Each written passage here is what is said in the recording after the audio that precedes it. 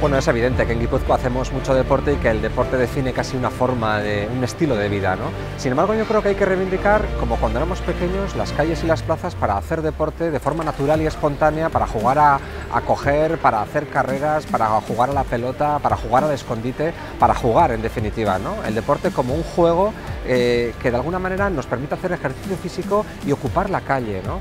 Y eso es lo que queremos con Guipúzcoa Active Hacking. De alguna manera recuperar esa costumbre de convertir nuestras calles, nuestras plazas, nuestros municipios en lugares aptos para poder hacer ejercicio físico y para poder jugar y disfrutar.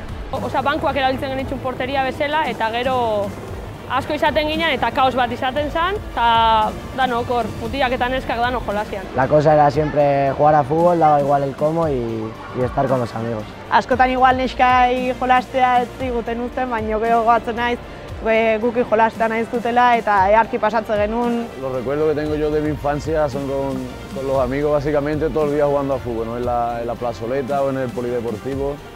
Y la verdad que no lo tomamos como si fuera la final de, un mundial. Egun guztia kalen jolasteko desiatzen, goatzen naiz ba, klaseko lagunekin, ite genituen ikastola aldamenen ite genituen futbol partidak.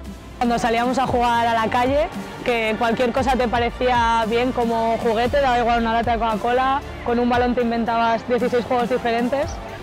Gipuzkoa Active Hacking eh, programa honekin saiatu gerena izan da berreskuratzen gure plaza publikoa, gure kaleak, e, kirola egiteko modu natural eta espontaneo baten moduan. Ez? Azken batean lortu duguna da e, Gipuzkoako kirolari ospetsuek, e, kirolari famatuak, bai futbolean, bai saskibaloian, bai eskubaloian, e, kirol desberdinetan, e, erakustea esparru publikoa, espazio publikoa oso espazio egokia dela jolasteko eta kirola egiteko.